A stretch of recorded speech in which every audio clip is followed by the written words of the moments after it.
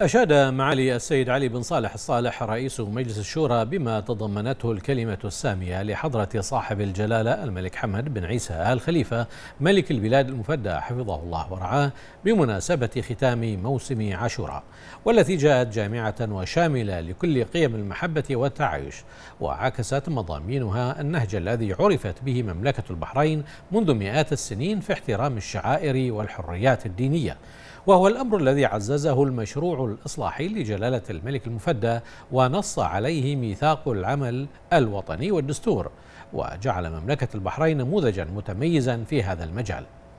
وأكد معالي رئيس مجلس الشورى أن توجيهات جلالة الملك المفدى رعاه الله ساهمت في نجاح تنظيم وإقامة موسم عاشوراء لهذا العام والذي أقيم في ظروف استثنائية بسبب جائحة كورونا مثمنا الدعم الذي يوليه جلالة الملك المفدى حفظه الله والحكومة الموقرة برئاسة سمو رئيس الوزراء الموقر لإحياء هذه المناسبة الدينية.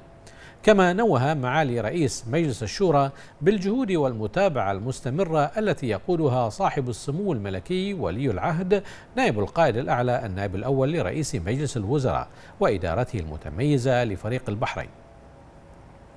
ولفت معالي رئيس مجلس الشورى إلى الدور الذي اطلعت به أجهزة الدولة ومؤسساتها المعنية بإحياء هذه المناسبة الدينية وكذلك العلماء والمشايخ الأفاضل والمتطوعون من أبناء الوطن.